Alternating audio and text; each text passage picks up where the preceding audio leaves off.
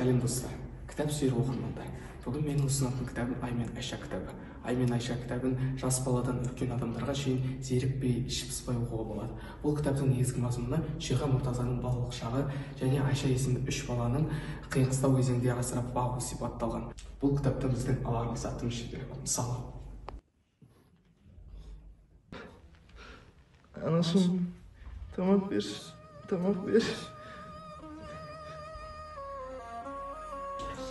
Eyes are rolling closer.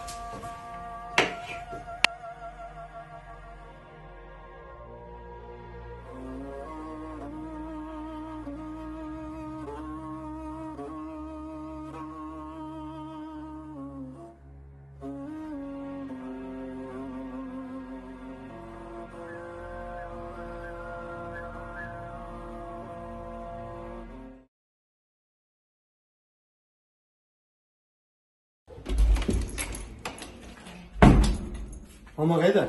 Мама! Қарны ашып кетті. Мама, үш сағаттан бері тамақ ашқан жоқ маған. Қатып алып қойшы, мама. Мама!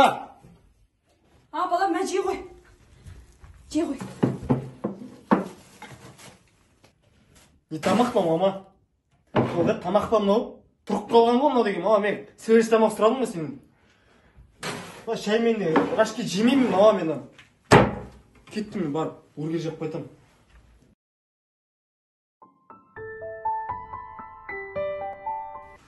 Осы шағын мысалда айтайын дегенім ай мен айша кітабында біздің қазіргі азғындалған қоғамда үлкен ойтастарлықта үлкен оқиғалар жатыр. Мысалы репрессия ұлы отан соғысы қазақты қинаған ашаршылық барлығы осы кітапта кездеседі. Бұны оқыған әрбір қазақ жайбарақат қиналмай оқи алмайтыны сөзсіз. Бұл кітапты қазіргі жасөспірімдерден бастап үлкен аға әпкелерімізге дейін толық оқуға кеңес беремін. Назарларыңызға рахмет.